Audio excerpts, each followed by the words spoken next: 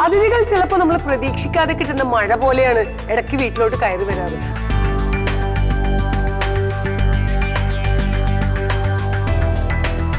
യാത്ര ചെയ്യാം. നമുക്കൊരുമിച്ച് ഹെൽത്തിയായ വിഭവങ്ങളിലൂടെ. മറക്കാതെ കാണുക.